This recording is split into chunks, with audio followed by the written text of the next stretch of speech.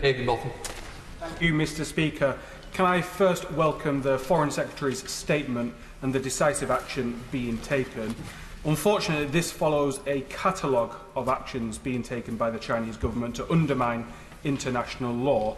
So could he confirm when the Chinese ambassador is summoned to the Foreign Office, we'll be bringing up not just this awful legislation, but also that catalogue of actions and making clear to the Chinese government that it can no longer be business as usual?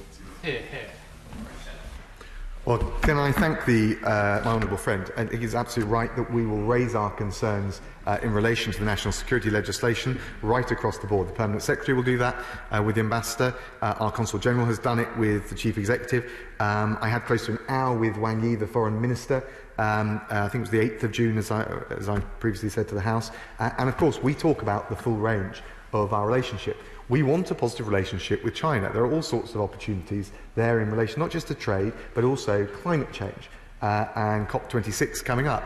But what we cannot do What we cannot do, whether it's in relation to our national security or our values, is look the other way just because of its asymmetric power, think that we uh, uh, have to kowtow or have to uh, uh um, duck or, or, bow. We will not do that. We will not do that on the issue of Hong Kong, and we will not do that wherever else our vital interests are at stake.